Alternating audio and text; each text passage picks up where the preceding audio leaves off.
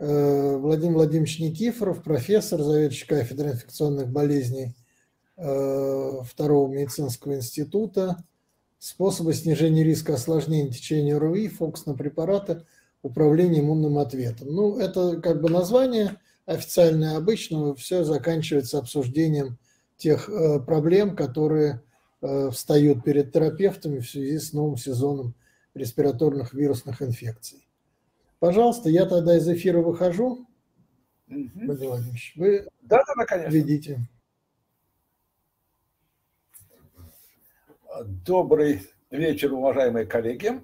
Э, ну, прежде всего, позвольте поблагодарить руководство э, и организаторов данной конференции за представленную возможность выступить на столь э, уважаемом форуме и рассказать, что нас ждет и э, с чем мы, в общем-то, пришли к началу нового эпидсезона. Вот. Э, тут название, которое вы видите перед собой, оно немножечко заужено, э, то есть тема немножечко названием заужена, на самом деле тема-то несколько шире, я бы, я бы хотел ее представить несколько шире. Вот. Значит, вот если вы посмотрите на вот эту вот табличку, то увидите странную вещь. Да? Вот, а, сразу приходит на ум а, выражение, что есть ложь, есть наглая ложь и есть статистика. Значит, а, дело в том, что, ну, конечно, вам совершенно понятно, что такой низкой заболеваемости гриппом быть просто не может от слова совсем. Вот, 50 тысяч, там 51, 38, 54 тысячи. Значит, на, на всей огромной территории Российской империи, от Кёнигсберга до Хабаровска. Значит, а просто, ларчик просто довольно открывается. Дело в том, что э, несколько лет назад, уже порядочно как, вот, э, Роспотребнадзор властью им данной взял и запретил нам, клиницистам, ставить диагноз гриппа клинический. То есть грипп должен быть обязательно лабораторно подтвержден. Тогда он становится гриппом. Ну, понятно, что в Москве мы это можем сделать, в Уфе можем сделать, в Хабаровске можем сделать, а вот в колхозе Кривое Дышло у Хрюпинского района мы этого сделать не можем. По целому ряду причин, вам понятно. А, но грипп от того, что ему Роспотребнадзор перестал называться гриппом, он гриппом быть не перестал. Вот. Поэтому что дальше, видимо, случилось, как я себе понимаю. А легкие неосложненные формы гриппа благополучно а, оказались вот в таком красивом, а, с красивым названием разделе, как острая инфекция верхних дыхательных путей, там множественные неуточненные локализации. И вот тут уже 31 миллион, 30 миллионов, тут уже вот чувствуется размах. Причем прошу, прошу обратить внимание, что это заболеваемость по обращаемости. То есть люди настолько серьезно были больны, что все-таки пошли за больничным листом. То есть это не просто какой-то там два чиха вот, и, и одна, прошу прощения, сопля, и температура 37,1, а это что, что-то, что выделило людей, вынудило людей обратиться за медицинской помощью. А сейчас, в общем-то, прогуливать работу не очень рекомендуют, скажем так. Вот. То есть понятно, что это не просто какой-нибудь э, мелкопоместный РВИ, вот, э, ничего не значащее. То есть люди не смогли пойти на работу. Вот. Понятно, что здесь не один грипп, ясное дело, и не только грипп, но я думаю, что грипп здесь весь, вот он тот, который лабораторно не подтвержден. Легкий и средне тяжелый. А вот тяжелые формы гриппа, закономерно осложняющиеся пневмонией, они попали, конечно, просто-напросто в раздел вне больничных пневмоний, который тоже никакого лабораторного подтверждения не требует. И вот тут пошли сотни тысяч, 600 тысяч, 700 тысяч, вот, 760 тысяч. Вот тут не удивляйтесь, вот эта вот цифра, почти под 3 миллиона, это 20 год. В начале, когда к нам пришел ковид, а у нас не было возможности лабораторной диагностики, не было для него соответствующей рубрификации, поэтому, ну, поэтому вполне закономерно, что масса больных ковидом попали вот в этот раздел во внебольничной пневмонии. Ну и в 2021 году, что греха таить, поэтому не весь ковид подтверждается, а некоторые, и даже многие не подтверждаются, поэтому ну, куда ему бедному деться, кроме как, кроме как в раздел внебольничных пневмоний. Я вот тут что хочу сказать. Вот тут эту представлена заболеваемость по годам. Это от 1 января по 31 января одного года удобно, нормально, все хорошо, но не для респираторно-вирусных инфекций, которые, расцвет которых приходится на а, конец одного года, начало другого. А, поэтому для удобства, вот, чтобы смотреть, следить за эпид-ситуацией, ввели такое понятие, как эпид-сезон. Он начинается с 40 недели одного года, потом через Новый год и до 39 недели другого года. То есть вот это вот э, такой вот срез от осени до осени. А, с захватом наиболее такого вот периода как раз этих простудных явлений. Так просто удобно. Вот. Цифры, конечно, будут разные, они не совпадают. Цифры по эпидсезонам и цифры по годам. И эпидсезон а, а, обозначается как? Вот сейчас, две недели назад, начался эпидсезон 2022-2023. Ну, вот так, так просто удобнее работать, ну, не, не более того. Хотя ни в какие аналитические э, документы, статистические, вот этот эпидсезон не входит, понятное дело, понятие эпидсезон. Ну и что касается внебольничных пневмоний. Вот я специально взял 2015 год, это еще до всяких ковидов, вот, до всего, спокойные времена. Вот. И люди посмотрели, э, что является этиологической причиной а, вне больничных пневмоний. И у них получилось, что на первом месте стоит риновирус человеческий, а грипп, о котором я говорю, только на втором месте. А я уж был огорчился, что я не совсем правильно говорю и считаю грипп основной причиной внебольничных пневмоний, но обратите внимание, в их, в их исследовании 60, в 62% они все равно не смогли установить этиологическую причину. А так как вирус гриппа очень трудно подтвердить, на самом деле, он э, крайне нестойкий, поэтому его выделить трудно бывает. А, а, значит, а, тем более, что когда уже развивается понимание, там вируса может и не быть, естественно. Вот. А, соответственно, вот если мы добавим сюда эти 62%, ну или хотя бы 30, может быть, вот, то получим все-таки, что на первом месте, наверное, как причина, наверное, все-таки стоит грипп. Ну, я не навязываю свое мнение, это, ну, в принципе, оно никакого значения особого и не играет.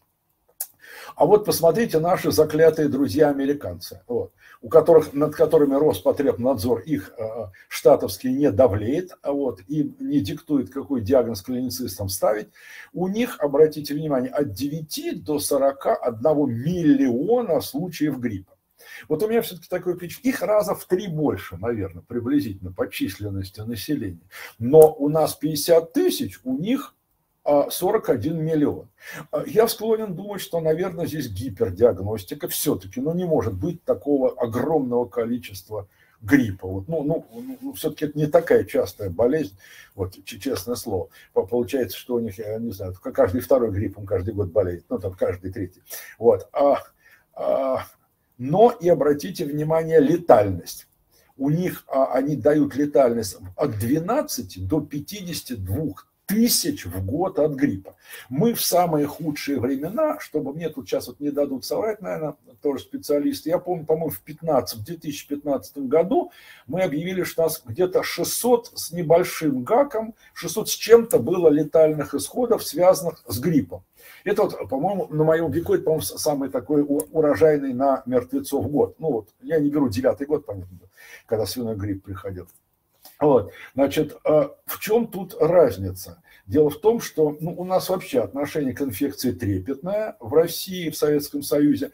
Нам запрещено умирать от инфекции, это недостойно передовой страны в мире. Вот, это наследие царского прошлого инфекционные болезни, как до сих пор уверенно там наверху. Вот, а, поэтому у нас грипп а, может считаться причиной смерти только в том случае, если на вскрытии из органов и тканей трупа будет выделен вирус гриппа. Ну, скорее всего, ничего вы не выделите, естественно, поэтому у нас от гриппа никто и не умирает. Вот. А у американцев другая э, система. Они считают так, что вот был, ничем там выделять не нужно. Вот был грипп, потом пневмония, потом сепсис, там полиорганная недостаточность, все, смерть. Они все равно будут считать, что причина смерти это грипп. Потому что не было бы гриппа, не было бы пневмонии, не было бы там полиорганной недостаточности, не было бы э, летального исхода. Ну, наверное, истина, опять же, мир не белый и не черный. Наверное, истина где-то посередине, я так думаю. Вот. Но все-таки, конечно, не 600 у нас человек от гриппа умирает, ну, а у них, наверное, все-таки не 52 тысячи. Ну, ну, ну, бог его знает. С этим, конечно, надо разбираться. И что статистика – это вещь такая вот, э, куда повернуть. Вот. Ну и обратите внимание вот еще на одно, что экономическое бремя гриппа и РУИ, оно, конечно, гигантское. Вот. А, все эти больничные листы складываются, складываются, складываются, и вы получаете, конечно, ужасающую картину. Вот. А, но понятное дело, что с этим надо как- как-то бороться. Вот. Ну, во всяком случае, с гриппом, потому что есть вакцина, об этом я чуть позже скажу. Это бремя, конечно, можно в какой-то мере, все-таки в какой-то мере нивелировать. Ну и вот, а, возвращаясь к летальности от гриппа. Да, конечно, мы понимаем, что летальность от гриппа не недооценена. Это вот такая, а, а, ну что ли, то, что нельзя учесть, откровенно говоря. Я понимаю, что никакой судмедэкспорт эксперт не, не подтвердит вот такую мою идею, что вот был у вас пожилой пациент с букетом сопутствующей патологии, там с какой-нибудь там с э, сердечной патологией, с э, гипертонической болезнью, которую вы скомпенсировали, вот получилось какое-то динамическое равновесие, человек жил и наслаждался жизнью. И вот пришел к нему грипп неожиданно, вот, попал он в больницу, пролежал там некоторое время, вот, а, наступила какая-то вот это вот, э, э, все пошло в раздрай, вот вышел он из этой компенсации, дальше пошло падение костяшек домино по принципу э, домино, ну и в конечном итоге, скажем, через полтора месяца этот ваш пожилой пациент умирает от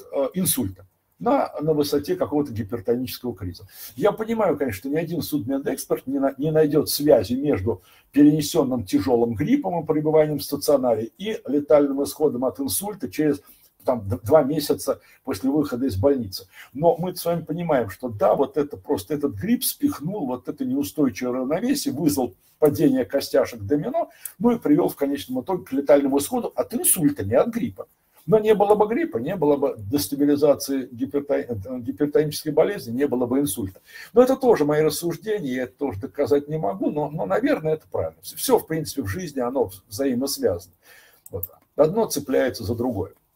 Ну и вот теперь, что я все-таки хочу сказать. Я прямо говорю, что признаюсь, что я сторонник вакцинации, ну, не фанатик – у всех фанатиков они всегда убогие, односторонние. Вот. Но то, что вакцины работают, они работают, и э, разубедить меня в этом невозможно. Есть масса причин, почему я э, сторонник вакцинации, ну, как, как, как яркий пример, это все-таки вакцинация от ОСПы, которая все-таки позволила ее победить. Вот. Ну и вот а, тут, если мы посмотрим на успехи вакцинации от гриппа, как видите, по мере того, как росла значит, э, вакцинация, процент вакцинации, прогрессивно снижалось количество больных гриппом. Вот дальше я не делал, потому что, откровенно говоря, вот, в 2021 году мы вакцинацию по гриппу, откровенно говоря, провалили. А, безобразно, потому что была организована вакцинация от ковида. Вот. Все, что можно было сделать не так, все мы ухитрились сделать не так. Особенности вопли по, по всем СМИ одного из творцов вакцины, что его вакцина стопроцентно безопасна, стопроцентно защищает, что она антителами поделится со своими внуками. Потом вышло, что не стопроцентно защищает, что, в общем-то, не абсолютно безопасно, и что вовсе ни с кем он не поделится антителами, а что придется каждые полгода перепрививаться. Ну, после таких заявлений, конечно, народ отвернулся от остального вакцинации. Это понятное дело, что обжегшись на молоке стали дуть на воду. Вот. Значит, ну, Просто не надо, э, откровенно говоря, врать-то не надо. Больше толка от этого будет, если признаваться в том, что есть. Вот не бывает стопроцентного ничего. Ну и посмотрите, вот у нас тоже, вот у нас мы любим вот такие вот, так скажем, вот, э, прокламации. Вот, вот у нас категории граждан, подлежащих обязательной вакцинации. Действительно, душа радуется, откровенно говоря. Все это очень правильно, очень своевременно. Действительно, на все вопросы вот этот вот список отвечает. Но это ничем, вот эта обязательность, она ведь ничем не подтверждена. А я скажу, что я не хочу прививаться. Я, вот я подлежу вакцинации, вот, а, а, а вакцинироваться не хочу. И ничего мне за это не будет, и никто меня вакцинироваться не заставит. Вот опять же наши заклятые друзья-американцы, у которых мы всегда любим кричать, что у них здравоохранение бесплатное, то есть платное, а у нас бесплатное, так вот это не совсем так, я бы сказал. Скажем, у нас не совсем бесплатное, и даже совсем не так, а у американцев не совсем платное. Потому что у них всякий работающий нормальный человек имеет социальный пакет, и в нем страховка. И вот тут начинается интересный момент. В страховке всегда прописана вакцинация от гриппа. И если человек вакцинировался, но заболел, его вылечат за счет этой страховки. А вот если у него в страховке прописано, что надо вакцинироваться, а он антиваксер и вакцинироваться не пошел, потому что он не хочет, и он заболеет, то его тоже вылечат. Но при этом вылечат за его деньги и выкатят такой счет, что ему мало не покажется. Поэтому все нормальные американцы, вот, они, естественно, прививаются. Почему мы должны лечить за бесплатно по ОМС, грубо говоря, тех, кто просто, просто так не захотел вакцинироваться, мне это не совсем понятно, это выше моего понимания, это, ну, опять же, умом России не понять, а аршином общим не измерить. Вот тут тоже еще, и тут еще интересно, вообще-то правильный абсолютно довесок. Вот к этим группам а в, а, как видите, в июне, а, в июле 22 года постановлением а, Поповой введены дополнительные категории, а именно а, работники птицефабрик и свиноводы. Почему? Потому что на самом деле мы ждем, что к нам придет только не говорите птичий грипп, есть грипп птичий, к нам придет грипп птиц. Это вот тот, который H5, H7. Пока, пока этот грипп не перепрыгнул видовой барьер. То есть пока кто-то там на птицефабриках заражается, ну, видимо, с каким-то дефектом иммунной системы, но пока дальше от человека к человеку передачи этого вируса, этих группы вирусов нет. Но когда-нибудь это случится, и когда-нибудь вирус смутирует так, что он пере, сможет перепрыгнуть вот этот барьер. И, скорее всего, это случится в организме свиней. Почему? Потому что свинья очень интересная в этом плане животное. Вот, у нее, она, кстати, крайне похожа на человека, вот, по, по целому ряду по параметров и по зубной формуле, и по коже, и по строению печени, и по характеру, что самое главное. Вот. А, так вот, а, у свиньи легкие имеют рецепторы и для гриппа птиц, и для гриппа человеческого. И вот, а, вот именно в организме свиньи, скорее всего, и произойдет очередная, очередная реассортация, после чего грипп будет способен птичий грипп птиц будет способен поражать и человека от человека, то есть будет перепрыгнут вот этот вот барьер видовой. А, да, пока вакцины нет, и, конечно, ее никто особо-то и не собирается пока разрабатывать. Вот. А, когда надо будет разработать, вот, ну, потому что самая технология-то, она, в общем-то, полностью отработана. Но даже та вакцина сезонная, которую вот мы сейчас будем уже, наверное, все привились, я надеюсь. Вот. А она, в принципе, фоновый иммунитет перекрестный даст, поэтому даже если и заболеют, то заболеют легче все-таки. Вот. А, значит, и вот тут, переходя к вакцинации, хочу сказать, что время трех валентных вакцин навсегда кануло в лету. Значит, а, есть а, четырехвалентные вакцины. То есть они а, уменьшают вероятность ошибки, скажем так. Вот. То есть они содержат два антигена типа А, два антигена типа Б, и по, так скажем, по э, настоятельной просьбе э, ВОЗа они должны содержать не менее 15 микрограмм гемоглютинина каждого гриппа. То есть а, а, два раза по 15А и два раза по 15Б. То есть они в, сумма, в сумме должны давать 60 микрограмм. Вот. Значит, а, в этом году а у нас с вами вот она, а, вот состав вот этой вот трехвалентной вакцины для всего мира. Вот. Это требование ВОЗ, неважно, где сделана вакцина, у нас, в, в Буркина-Фасо, в Юго-Восточной Папуасии, вот, где-нибудь в Европе абсолютно без разницы, состав вот такой вот. А вот попадем мы в ноты или нет, вот это вот я вам сказать не могу, пока грипп еще реально так не пришел, сказать ничего нельзя. Вот, а, ну, черт его знает, но как, э, тут ведь в этом-то и есть вот подводный камень вакцинации от гриппа, потому что мы готовим вакцину летом на основании того, что вот предвидим, что вот, наверное, такой вирус придет, потому что вот сейчас вот он в Австралии, а к нам зимой придет. Но, как говорится, хочешь насмешить Бога, расскажи ему о своих планах. Вот. А, грипп может нас обмануть, придет совершенно другой, пока не знаем. Вам признаюсь честно, в прошлом году, в прошлом эпидсезоне, вот эта вот вакцина, которая была, которую вводили прошлой осенью, по гриппу Б полностью пролетели мимо денег. Вот. Нас спасло то, что был в прошлом году грипп Б, который, к счастью, не тяжелый, никого не убивает, и, в общем, никто не заметил, что эта вакцина не работает. вот, откровенно говоря. Ну, будем надеяться, что в этом году э, чаша сия нас минует. Вот у нас с вами три вакцины, которые у нас есть. Хочется сказать, любой каприз за ваши деньги, но тут бесплатно. Значит, вот у нас флю М тетра. Обязательно, вот, обязательно приставка должна быть, которая будет обозначать 4. Флю М тетра, ультрекс квадри и гриппол квадривалент. А вот единственная вакцина, которая полностью отвечает требованиям ВОЗа, это ультрекс квадри. Потому что нет ограничений по возрасту, можно беременным, не содержит ни адъювантов, ни э, стабилизаторов. Вот, и полностью значит, нагрузка антигенная полная. Вот. У, у, у флюэма ограничения по возрасту нельзя детям и нельзя беременным, а гриппол квадривалент, как видите, он содержит, с одной стороны, меньше антигена, зато введен стимулит, стимулятор иммунитета, вот, ну и, и там есть, э, значит, ну вот, э, но в принципе все они э, имеют право на жизнь, все они прошли все круги ада их по проверок, поэтому все они достойны. И, в общем, тут выбирайте, что вам больше нравится и, или что вам предложит работодатель. Тут уже. И что хочу сказать. Вот в позапрошлом эпидсезоне гриппа практически не было. Его было всего лишь 10 тысяч случаев.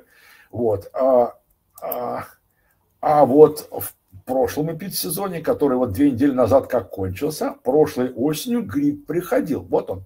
Вот э, сезон 2021 гриппа вообще не видно. А вот красным это сезон, соответственно, 21-22. И вот, как видите, где-то в э, ноябре, декабре вовсю полыхал грипп Б, но мы его не заметили за э, повальной, так скажем, пандемией ковида. И, наверное, многие болели гриппом, но им, конечно, ставили ковид лабораторно не подтвержден. Я думаю, так. Вот. А причина, почему грипп пропал, тут масса в этом плане причин, конечно. Вот. А, но говорят так, что вот маски, перчатки, разобщение, карантины, поэтому грипп отступил. Нет, на самом деле не так. Просто я думаю так, что ковид с гриппом не поделили кормушку а кормушка – это наше с вами бренное тело. Так вот, в борьбе за это бренное тело на какой-то период выиграл ковид, который завоевал, распил, распихал всех а, значит, а, товарищей вокруг и, значит, занял главенствующее место. Но живой мир не терпит такого долгого главенствования одного какого-то вируса. Вот. Э, все эти остальные товарищи собрались силами, перекурили, перезаточились, и вот уже грипп, как видите, в прошлом эпидсезоне приходил. В этом эпидсезоне, от которого сейчас вот здесь, вот дальше пойдет, а в этом году обещает прийти грипп групп, э, типа А, и прийти с новыми силами, а как раз, откровенно говоря, ковид-то выдохся. Ну, по всем законам жанра он должен был выдохнуть. Ну, вот вроде как будто бы он выдохся. Вот, а микрон это уже не, то, не та дельта, которая нас им трясла как грушу в прошлые эпидсезоны. Вот, и я думаю, что ковид и дальше будет деградировать. Другое дело, что он вел себя не очень а, по-человечески, как мы привыкли ко всем остальным вирусам. Ну, у меня есть объяснение, сейчас прям не тема этой лекции, но тем не менее, что, конечно, ковид – это исключительно природный вирус – летучих мышей, но к которому умелые ручки приделали определенный хвостик. Вы этот хвостик знаете, эти 12 нуклеозидных остатков, которые кодируют петлю, расщепляемую фурином. Вот она сама создастся никакой эволюции, которой, к слову сказать, и нет вообще.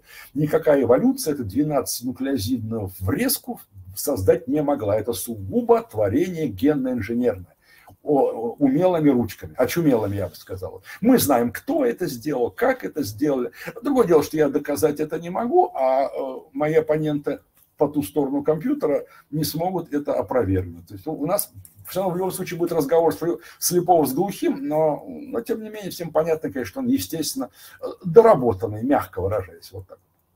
Вот. Поэтому он и ведет себя не очень правильно, но все-таки э, природа с ним справилась. И вот посмотрите, вот закон сохранения энергии, который сформулировал Ломоносов, что если в одном месте чего будет, то в другом месте столько же и присовокупится. Вот смотрите, когда у нас начинает главенствовать ковид, проседает все остальное. Как только проседает ковид, начинает главенствовать грипп.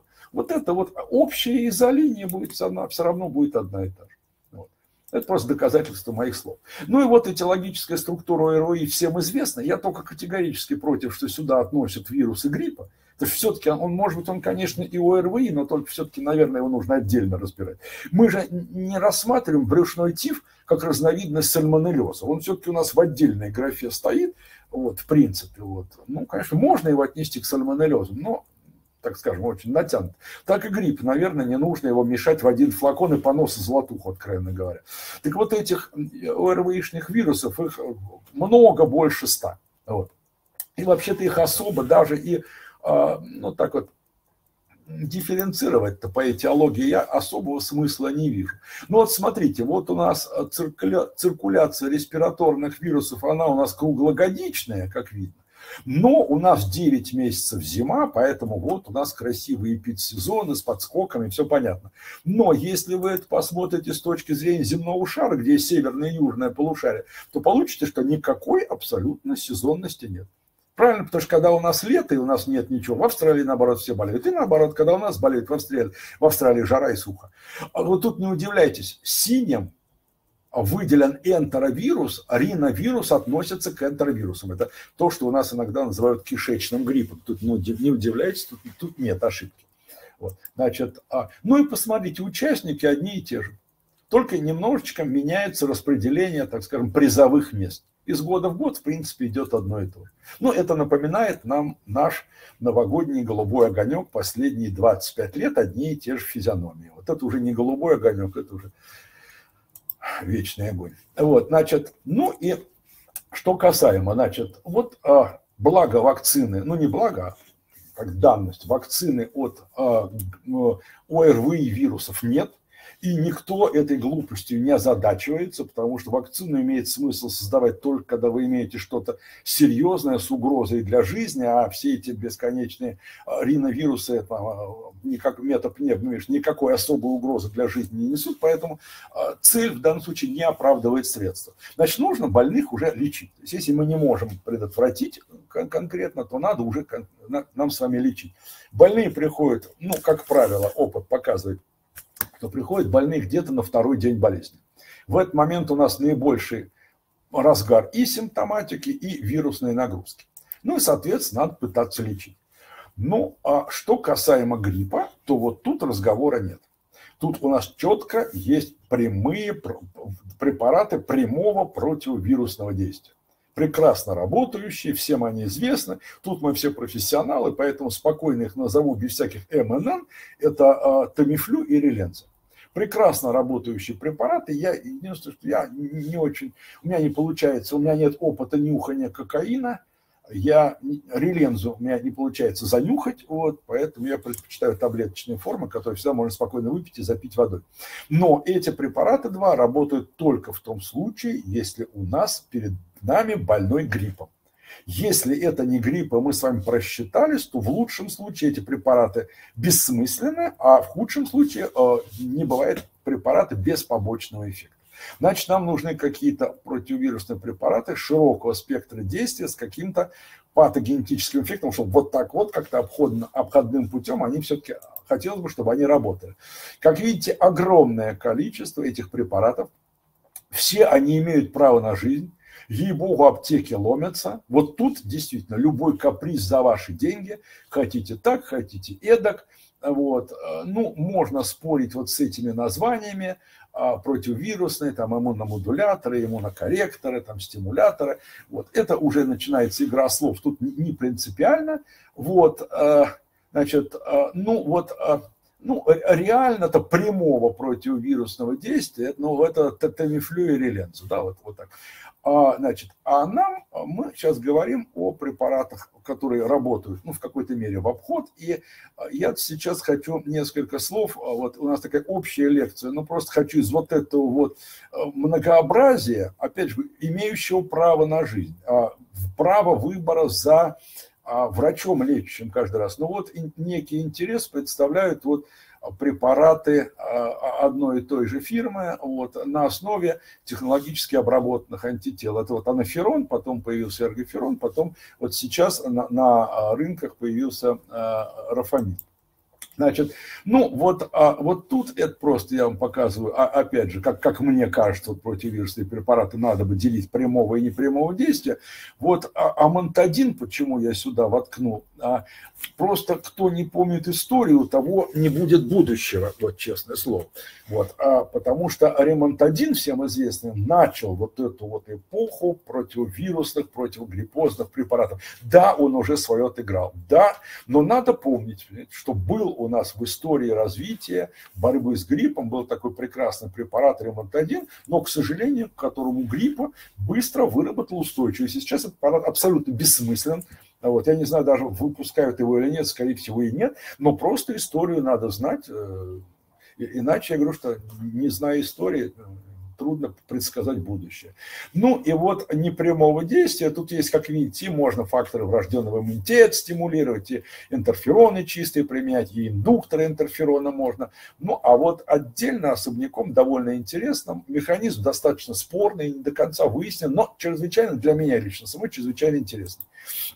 Вот. Ну, об этом я уже сказал, повторяться не буду, о, о препаратах против гриппа. Но вот тут, вот ей-богу, вот я вот этого понять не могу, и его хочется повторить Эйнштейна, что я, я знаю две бесконечные вещи. А, это Вселенная и человеческая глупость. И то во Вселенной я не совсем уверен. Так вот, я не понимаю, зачем было разрабатывать эти теотропные препараты для лечения ОРВИ, не гриппа. Ну вот а, как эти атропные, значит, будут действовать только на данный вирус. Ну вот как я у постели больного отличу мета, метапневмовирус от рентициально-синтециального вируса? Вот скажите. Вот буду препарат один применять, в данном случае другой препарат применять. Ну вот, а, что только не пробовали, но в конце концов поняли, что это глупость, плюнули, и сейчас этим больше никто не занимается. И это не нужно, поверьте мне. Клинически они абсолютно не отличимы. Ну, остаются у нас какие-то, назовем их так, широким жестом, обзовем их иммунотропные препараты. Или препараты, которые управляют иммунным ответом. Ну, тут можно изощряться в так скажем, в придумывании названий, но смысл не будет меняться. Это вот есть синтетика, есть природные соединения, ну, а есть а, технологически обработанные антитела, это вот, э, значит, у нас с вами анаферон, эргоферон и рафамин. Вот, чтобы понять, как все это работает, я позволю себе напомнить докторам принципы работы иммунитета и, собственно, на что и как можно попытаться подействовать. Вот все носятся с интерферонами, а, как с противовирусными препаратами. Доктора, интерфероны никогда никакие вирусы, отродясь, не уничтожали. Это всего лишь сигнальные молекулы. Ну, этого всего лишь вполне достаточно. Вот. То есть они играют роль а, ну, я всегда, я нашел это красивое сравнение, теперь всюду его а, упоминаю. Они а, уподобляются дирижеру симфонического оркестра. Сам дирижер ни на каком инструменте не играет, но он задает тон работе оркестра. Уберите дирижера, и вместо прекрасной симфонической музыки получите какофонию. Вот то же самое – делают интерфероны. Сами никого не убивая, они только задают тон работе а, иммунной системы. В результате вся она работает слаженно, в результате мы с вами остаемся живы. И раз вы меня слушаете сейчас, значит, у вас иммунная система работает прекрасно, и чинить ее не нужно. И стимулировать попусту тоже не нужно. Как говорят а, восточная мудрость, не чини то, что и так работает. Значит, а, и опять же природа сделала хитрую штуку. Значит, а, есть первая линия защиты и, грубо говоря, вторая. Вот интерфероны ранние, это интерфероны альфа и бета. Они безадресны. Вот, они, вот если опять же сравнивать с, так скажем, с человеческим обществом, они напоминают колючую проволоку вот, а, которая защищает наш сами организм. То есть вот а, а через эту колючую проволоку ничего, по идее, пролезть не должно. Вот, вот так работают интерфероны альфа и бета. Вот. А, то есть они не пускают вирусы в клетку, ну, причем им абсолютно безразлично, какой это вирус. Вот. А, они а, без, безадресны, что ли. А вот если все-таки вирус пробьет, пробьет эту защиту, вот эту первую линию, то включается, грубо говоря, включается в работу интерфероны второй очереди, это уже гамма-интерферон который уже а, отрабатывает адресный ответ. Ну, условно говоря, если обращаться к военным действиям, то альфа и бета – это колючая проволока, а интерферон гамма – это прицельный выстрел снайпера. Уже адресно. И вот тут интересный тоже момент с иммунной системой, с инфекцией, вот, со всеми делами. А инфекция не хочет нас с вами убить она в этом не заинтересована, потому что все а, инфекционные болезни, а, возбудители, они паразиты, они живут в больном, но в живом организме. И смерть макроорганизма, смерть хозяина, это неминуемая смерть и самого паразита. То есть никому не нужен труп умершего от инфекционной болезни. В первую очередь самой инфекции это не нужно, потому что прекращается распространение инфекции в трупе труп кашлять, чихать перестанет, соответственно, а, продолжение рода прекратится, а это цель всего живого на свете. И вот тут интересный момент, обратите внимание. А, значит, иммунная система не поражает те клетки, которые ответственны за синтез гамма-интерферона. Вот это интересно. Вот. А тут сразу приходит на ум, а, был такой философ, у нас он не очень популярен в России, его любил, любил один австрийский мальчик, которого звали Адольф Шак, Шекльгрубер, вот, а, ну, а, а в миру Адольф Гитлер. Вот, а звали философа а, Фридрих Ницше. Вот у него есть одна очень интересная цитата, он вообще раздерган на цитаты, но вот тут не очень такая употребимая цитата, он звучит так, что если вы посвятили свою жизнь борьбе с врагом, то вы должны быть заинтересованы в том, чтобы этот ваш враг всегда оставался жив. Ну, тут понятно, да, но а, лучше не скажешь. То есть инфекция нас оставляет жить, потому что она заинтересована в том, чтобы дальше размножаться и дальше, в общем, а, не уходить в мир иной вместе с нами. Вот. Так вот, как работает иммунная система. Самое, глав, самое главное, вот такой посыл. Все чужеродное подлежит абсолютному уничтожению. Никаких исключений а в данном случае иммунная система не делает. Как работает все это очень четко. Вот у нас там есть антиген, репрезентативная клетка, которая вот ползет по кровотоку, грубо говоря, как пылесос собирает все антигены. Если у нас встречается что-то, если встречается что-то новое, а по умолчанию, по определению это новое, оно опасное и должно быть уничтожено, то эта антиген-репрезентативная клетка через иммунный синапс а, сообщает Т4 лимфоцитам о том, что над организмом нависла угроза. А в ответ на это Т-лимфоцит возбуждается, вот, активируется, начинает синтезировать гамма-интерферон, ну, который в дальнейшем уже э, включает все остальные э, линии иммунной защиты, что приводит в конечном итоге к элиминации возбудителя. Это очень условно, если меня сейчас слушают иммунологи, они, наверное, грозят меня убить, закидать тапками, но смысл, просто я пытаюсь за 15 минут рассказать всю, всю иммунологию, чтобы понять, как что работает, потому что, ну, хотя бы вот, представить себе, на что какой препарат и как, где можно подействовать, не отвлекаясь на какие-то уже а, тонкости, вот, которые понятны профессиональным иммунологам. Значит, вот самое главное, что сообщить о том, что в организме, сообщить иммунной системе о том, чтобы она сработала, нужно как можно более рано и как можно более полноценно. Чем раньше увидим, а чем полноценнее будет информация об угрозе, тем адекватнее и мощнее будет иммунный ответ.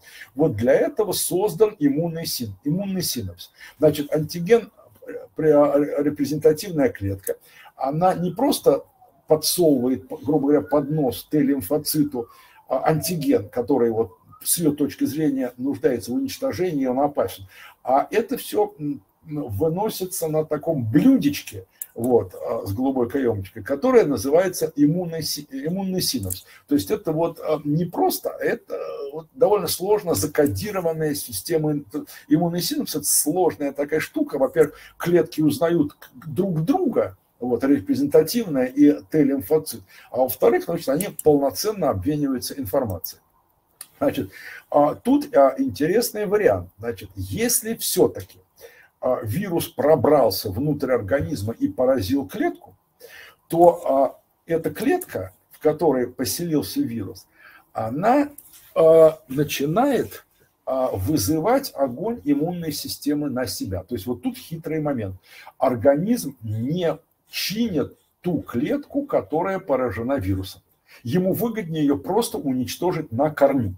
То есть это пораженная клетка, она становится своего рода самоубийцей, она выкидывает на поверхность такой белый флажок для, для привлечения своих убийц, нормал киллеров.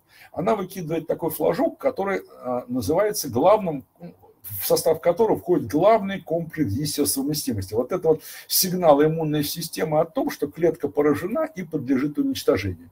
Значит, а вот а, если а, антиген болтается в крови и попал внутрь антиген-репрезентативной клетки, то вот антиген-репрезентативная клетка сообщает иммунной системе о том, что появился, грубо говоря, свободно живущий в кровотоке антиген, она сообщает об этом при помощи а, а, главного комплекса гистиосовместимости 2.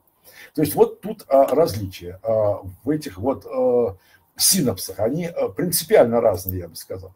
Значит, ну, дальше у нас с вами, получив информацию о том, от антигенной репрезентативной клетки, о том, что над организмом нависла угроза, а активирован Т-лимфоцит посредством гамма-интерферона начинает, вот, соответственно, активировать клетки. Ну и в конечном итоге, вот в конце тут показано, в конечном итоге появляются антитела, которые уничтожают вот этот исходный антиген. Ну это я очень упростил, но тем не менее, в принципе, э, э, оно так и есть. Так вот, а в чем новость вот этого препарата, линии препаратов, о которых я в самом начале говорил, так называемые технологически обработанные антитела. Уже очень давно, ну, чтобы не соврать, лет 25 назад, была а, замечена интересная вещь, что антитела, а, если их так скажем, э, раз, ну, развести до определенного предела и при этом технологически обработать, то их функция э,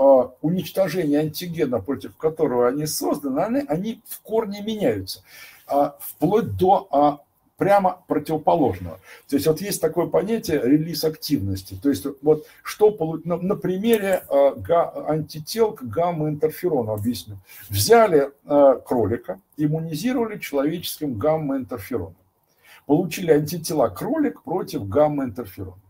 Вот если просто их слить в пробирку, антитела к гамма-интерферону и гамма-интерферон, то это все дело выпадет в осадок, видимо, и э, дезактивируется.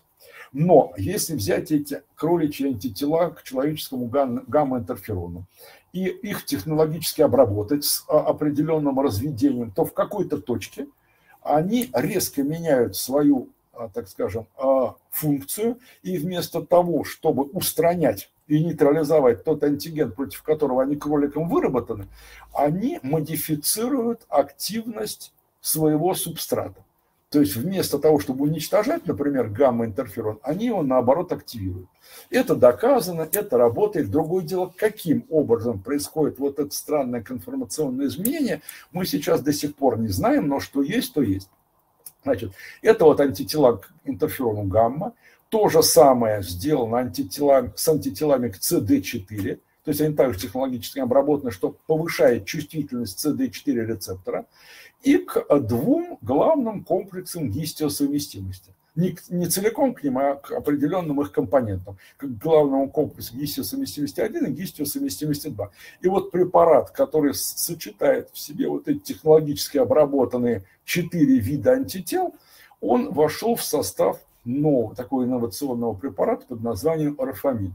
А самый первый препарат э, вот, вот на этой основе, на основе технологически обработанных антител, был препарат анаферон. Он и сейчас есть в аптеках.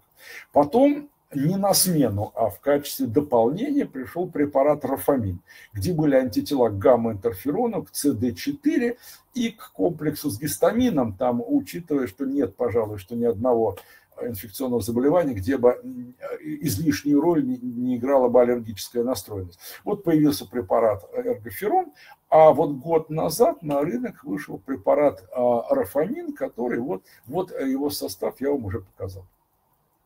Значит, а вот, собственно, показано, что мишени технологически обработанных антител препарата рафамин – это интерферон гамма, это, соответственно, бета-1 домен а, главного комплекса гистиосовместимости 2, а бета-2 микроглобулин главного комплекса гистиосовместимости 1, ну и, соответственно, антиген CD4. Вот, ну вот по, на примере гамма-интерферона я вам уже сказал, что вот воздействие на молекулу гамма-интерферона, вот этой вот технологически обработанной, а, а, анти, а, антител приводит к информационному изменению самого гамма-интерферона и, соответственно, производит активацию интерферон гамма-зависимых генов в клетке. Ну, это, это все, все я это уже сказал. Вот. То есть фактически у нас получается, что еще очень важный момент, это я уже сказал, что не, не столько и уже и не только важна борьба с самим антигеном, нужно его вовремя а, и в полной мере разглядеть. Как говорится, кто, при, а, так скажем, кто предупрежден, тот вооружен. Так вот, а, воздействие на главные комплексы гистиосовместимости, вот этих технологических обработанных антител в препарате рафамин, они как раз облегчают иммунные системы своевременное распознавание. То есть вот этот инновационный состав и механизм действия. То есть фактически у нас и активация процесса распознавания, и активация противовирусного и антибактериального, очень важного иммунитета, и устранение причины ОРВИ и защита от осложнений. Это, это все понятно. То есть, ну вот, красивую картинку я тут нарисовал, вот, что лучше значит, рано распознать, соответственно, и полноценно уничтожить. Значит, опять же, исходя из того, что мы имеем разнонаправленные действия, у препарата есть и противовирусные, и антибактериальные действия, но это не антибиотик. Вот тут принципиальная важность, этот препарат не является антибиотиком. У него просто а, а, направление действия, это и остановка, и размножение, и элиминация вирусов, и дальше защита здоровых клеток от а, заражения, и сохранение барьерной функции слизистых, понятное дело, опять же, это вот за счет главного комплекса гистиосовместимости 1, и подавление патологической флоры, и, соответственно, уменьшение воспаления. Вот. А, собственно, то, применяя этот препарат, мы, собственно, полностью выполняем то, что от нас требуют все а, наши существующие клинические рекомендации по лечению а, острых респираторных вирусных инфекций. Во-первых, значит, остановить развитие, а во-вторых, а, предотвратить возможные осложнения. Ну и э, вот тут, э, опять же, повторяюсь к тому, что в данном случае препарат, не являясь антибиотиком, он помогает организму очищаться от вторичной микробной флоры. То есть а, в какой-то мере он усиливает действие антибиотиков, сам не являясь антибиотиком. То есть он не вызывает э, привыкания бактерий, соответственно, нет э, вот этих вот устойчивых штаммов, ясное дело. Вот. Э, он позволяет в ряде случаев избежать назначения антибиотиков, а уж если все-таки их надо назначить, то он просто усиливает их работу. То есть, в принципе, вот как мы видим, это все применение этого препарата значит, не нарушает требования клинических рекомендаций, которые просят нас с вами воздержаться от ненужного назначения антибиотиков при вирусных инфекциях. Таким образом, видим, в принципе, что препарат может применяться на всех этапах заболевания. Вот опять же, за счет своего, своей многокомпонентности. И вот тут сейчас полагается все проверять двойным слепым контролем. Вот, пожалуй, а, фирма, которая, материя медик, которая выпустила препарат, она, пожалуй, единственная, которая выполняет все требования. Кстати, все ее препараты полностью соответствуют всем международным требованиям и проходят все абсолютно клинические исследования, многоцентровые, мульти такие, в общем, какие хотите. Это полностью, вот, а, причем это редко, когда у нас с вами на рынке появляются противовирусные препараты, которые прошли абсолютно полностью все, всю статистическую обработку всех полученных результатов. Вот они полностью соответствуют, проведены через все круги ада клинических исследований. Вот тут просто интересно момент какой, что а, для, просто не вдаваясь в подробности, как все это делается, самый простой для нас и для клиницистов критерий сокращения длительности заболевания.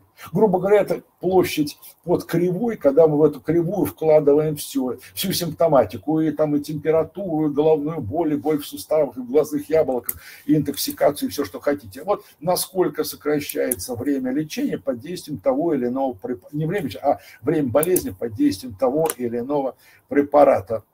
Вот. И вот оказалось, что рафамин практически одинаков по эффективности со старым добрым ингаверином. Я думаю, что пройдет некоторое время, и они сравняются полностью по активности. Вот. А, а, ну, я так думаю. А, а вот посмотрите, а вот орбидол и кагацил, они, увы и ах, в общем-то, серьезно отстают по эффективности, как видно вот по этим вот соответственным а, разработкам. Вот. А, ну и важный момент, то, что клинические, временные клинические рекомендации разрешают нам а, применять а, все разрешенные для лечения гриппа и ОРВИ препараты вот с таким действием, с иммунотропным, для лечения ковида до того, как придет его лабораторное подтверждение. Ну, к слову сказать, что во временных методических рекомендациях нет запрета применять их и после, но сейчас омикрон, который вы прекрасно понимаете, что он очень часто не подтверждается лабораторно, поэтому можно применять в любой момент. А что хочу сказать, что значит, э, анаферон, э, эргоферон и рафамин – это э, этапы развития вот этого направления терапии, но это не то, что одно заменяет другое. Анаферон прекрасно как профилактическое средство. Есть детские анафероны, любят педиатры. И эргоферон хорош, когда у вас наивный пациент, там 30-летний, без всякой сопутствующей патологии, первый, второй там день болезни, вот ему можно спокойно дать а, эргоферон. А если у вас пациент более-менее пожилой, с букетом хронической патологии, там, с каким-нибудь хоблом, с каким-нибудь синуситом хроническим, вот, уже леченный, вот, уже, там уже, прошу прощения, появились зеленые сопли, то можно как раз сразу начинать с рафамина. И самое главное, что все эти препараты, они прекрасно сочетаются с любыми другими. Любит человек кагацел, ради бога, пусть продолжает принимать кагацел, добавьте туда рафамин они ни в какую конфронтацию не вступают, одно, в принципе, будет дополнять другого. И, а, опять же, еще очень важный момент, это все препараты, о которых говорю, это сугубо амбулаторные. То есть, если у вас пациент нуждается в госпитализации, все, отправляйте на госпитализацию, ни о каких рафаминах разговор уже не идет, все. Дальше им займутся реаниматологи, уже врачи э, звена э, значит, э, госпитального, там уже совершенно другой разговор. И, и э, назначать э, рафамин в реанимации, э, ну, это только дискредитирует препарат. Вот. Ну и схема приема, она вот такая вот довольно хитрая, как у анаферона и эргоферона, у рафамина. Но это не абсолют, то есть тут, в принципе, если человек не может держаться такой схемы, работает и так. Но самое главное, что просто в первый день принять вот, эти, вот, вот, вот эту вот дозу. Так, ну, в общем, я свое время исчерпал. Вот, э, значит, э, я надеюсь, что, в общем, изложил все более-менее связано. Соответственно, наверное, будут вопросы, наверное, будут какие-то мнения. Я с удовольствием а, приму участие в дискуссии. Да, спасибо большое. Значит, вопрос, как вы относитесь к иммуномодуляторам при хронических болезнях легких? Ну, Причем и хобл, и астма через запятую. Ну, Давайте так, все-таки астма это одно, а, а хоббл это все-таки больше, наверное, все-таки как, как какой-то с участием какой-то флоры бактериальной, давайте так.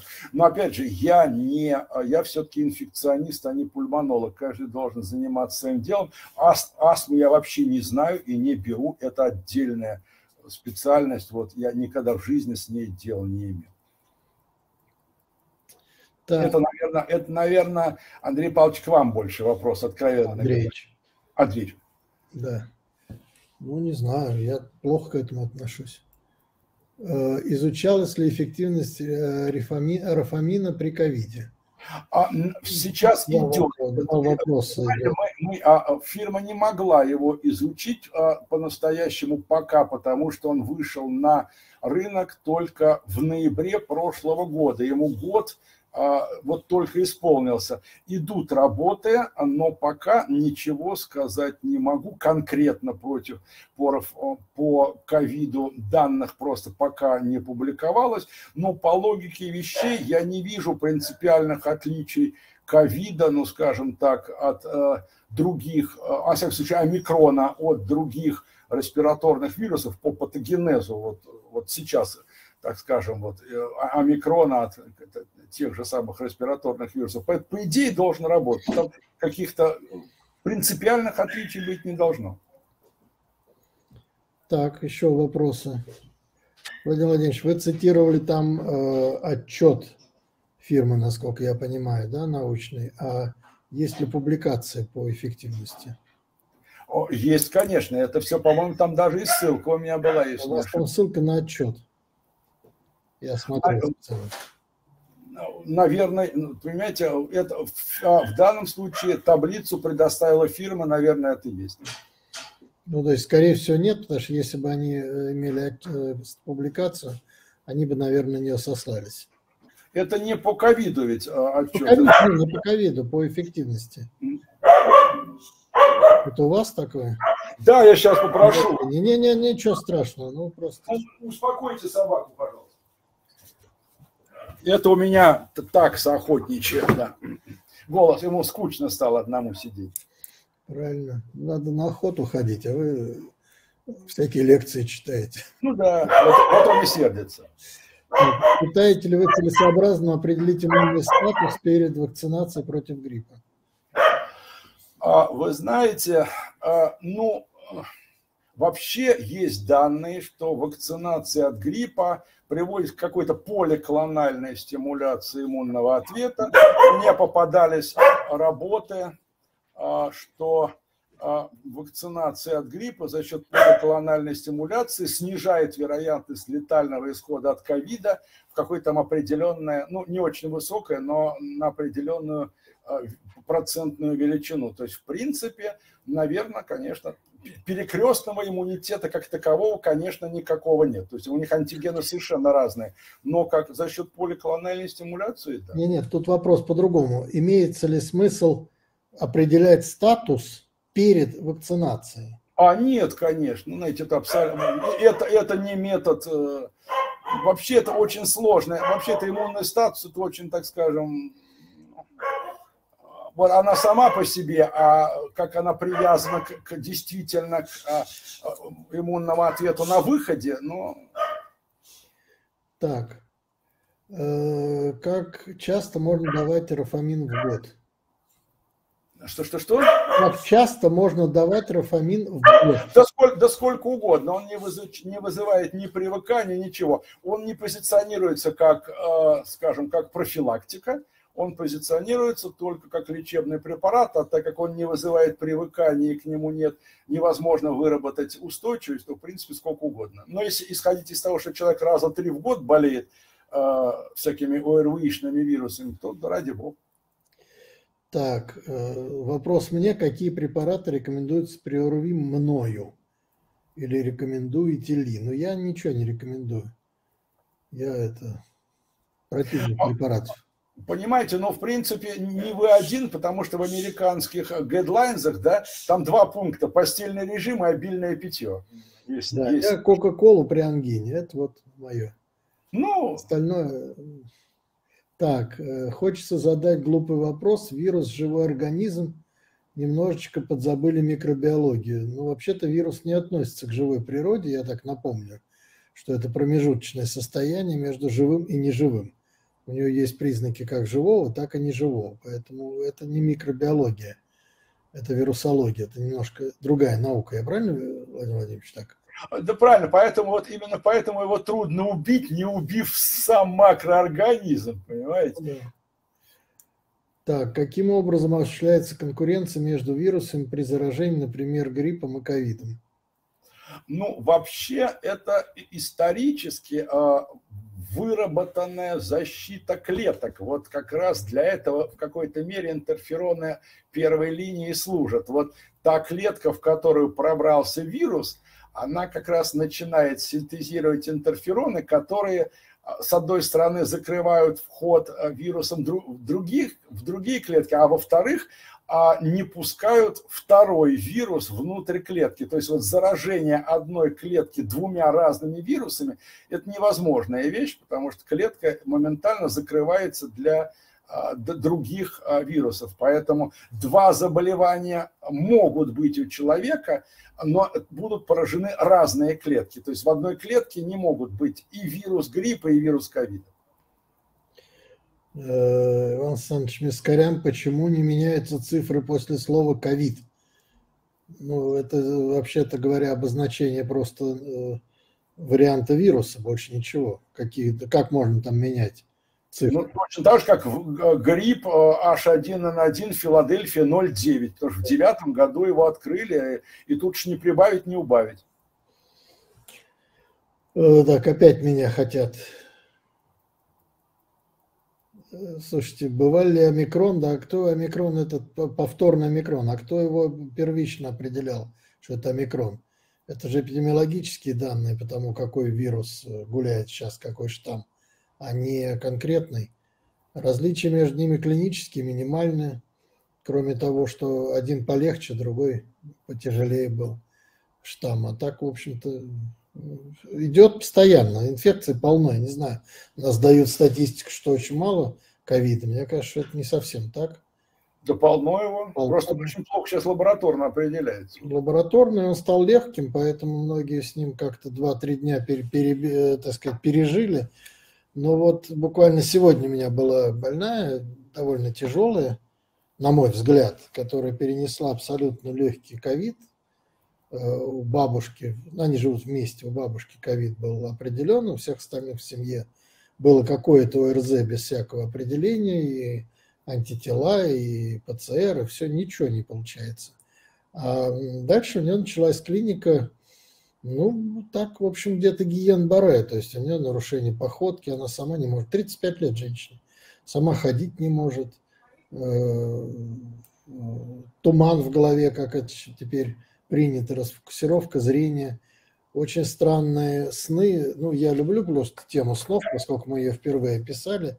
Э, она говорит, я не могу понять, то ли я проснулась, то ли я еще сплю. И вот эта вот тема перехода из сна в явь, она очень интересна, характерна для ковида. Я при других заболеваниях этого не слышал. Вот. Э, ну, сегодня невролог посмотрел, э, поопределял, постучал. Действительно, полинейропатия, быстро прогрессирующая достаточно. Может быть, не так, как классический Гиен-Барре, который быстро двигательные нейроны поражает. Здесь скорее сенсорные какие-то вещи. Но, тем не менее, мы порекомендовали обратиться на плазмоферез. Всего месяц после того, как она легонечко переболела ковидом. Ну, вероятность того, что ковид, потому что все заболели, у одного человека э, он был определен. Вот, поэтому, конечно, тут масса вопросов по поводу повторных заражений, легкости переноса и так далее. Ну, корреляция это между тяжестью и гиеном Барет не всегда она есть. Это прям, скажем, наоборот, скорее. Ну, да, ну да. да. Все обращают внимание на тяжелых больных, а то, что потом начинается у них осложнение, но гиен Барет тоже не специфическая реакция на ковид, да, это аутоиммунное поражение нервной системы э, при э, любом вирусном, бактериальном, э, так сказать, стрессе условном, да, потому что это может быть и не обязательно после инфекции Гиен-Барре бывает. Просто почему-то врачи о нем плохо знали, сейчас стали знать лучше. Ну, мы просто лет 40 почти знаем. Да, в инфекцию часто залетают под маской ботулизма. Да все, что хотите. Главное, что плазмофрез надо вовремя сделать. Вот в, чем, вот в чем вопрос. Так, еще какие вопросы? Ну хорошо, если вопросов нет, я тогда два слова в заключение скажу, что, конечно, э, меня э, наиболее, не знаю, поразили, порадовало ваши первые слайды о том, что гриппа нет, Зато теперь все умирают от пневмонии, которой тоже нет, потому что это не пневмония, это вирусное поражение легких, которое почему-то обозначается пневмонией. Что миллион направо, миллион налево. Вообще, если включается Попова вместо врача, то это катастрофа, которая, к сожалению, к сожалению, отражается на больных. Если бы это только было бы в нашем с вами обществе, поговорили, разбежались, это одно – но ведь мы это прекрасно понимаем, что э, вслед за тем, что пишется э, на КТ пневмонии, дается антибиотик. Или до КТ, или вообще просто дается антибиотик. А дальше начинается уже резистентность. И если, не дай бог, это дальше э, расцветает, то идет, соответственно, уже нарушение вплоть до смертельных тяжелых поражений, респираторных недостаточностей и так далее, и так далее. Вот, поэтому, ну, я не знаю, что с этим делать, у меня прям вот нет ответа. Вместо того, чтобы сказать, вот у нас в этом году такой, такой, такой возбудитель, мне говорят, у нас Попова запретила. Но мы куда вообще идем-то, в каком направлении? Ну, это же просто какое-то безобразие. Просто безобразие такое тотальное. Вот. Честно говоря, я, я немножко в шоке от ваших сегодняшних слайдов. Вот. Ну, что делать? Придется, придется в этом как-то жить, существовать. Спасибо большое. Я думаю, что мы с вами еще будем встречаться, потому что сейчас сезон только начинается, и мы как общество, наверное, единственное общество, которое каждый год регулярно опрашивает инфекционистов о том, что будет.